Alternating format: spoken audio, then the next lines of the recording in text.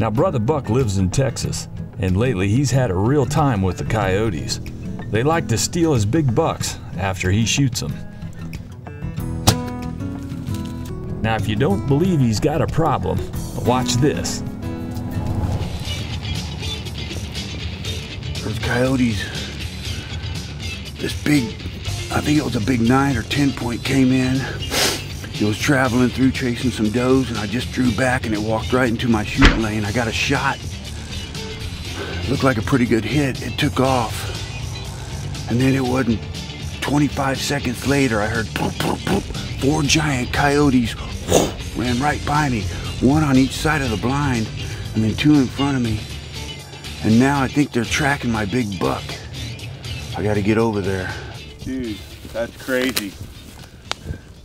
If you think you've got bad coyote problems, South Texas has got it worse. Look at this. This deer hadn't been dead three minutes. I was right. Look at that. Coyotes.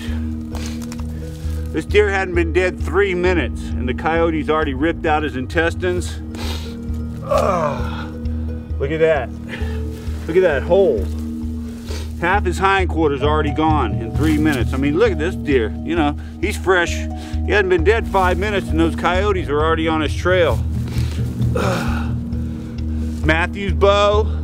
This is the bow I used in Africa. I'm still using it for whitetails, 85 pounds. Blew right through that deer. Can't even find the arrow. I think it's probably three feet under the ground. But anyway, if you think you got bad coyote problems, you don't got them nothing like South Texas. You better shoot that deer, you better track him, and you better find him. Or you may not get nothing but the horns.